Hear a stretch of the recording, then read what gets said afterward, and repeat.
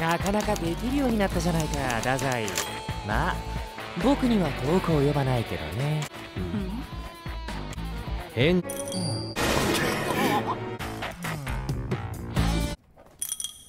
しょ。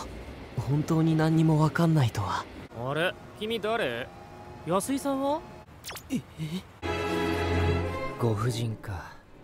今朝川を流されているところを発見されました。それは依頼かな？最初から素直に頼めばいいのに。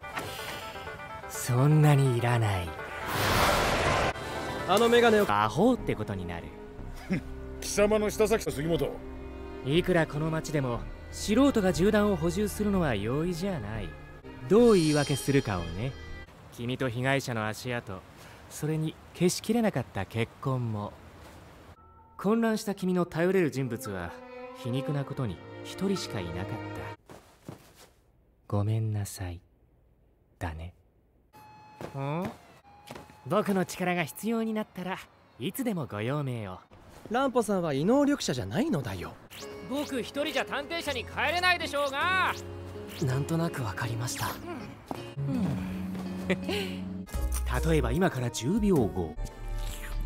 彼がさらわれたのは人骨とか懸賞金とか。凍結？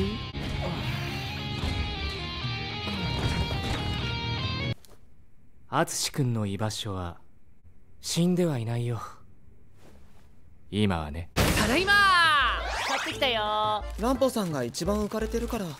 これさっき話した練ると色が変わるお菓子。練っていいよ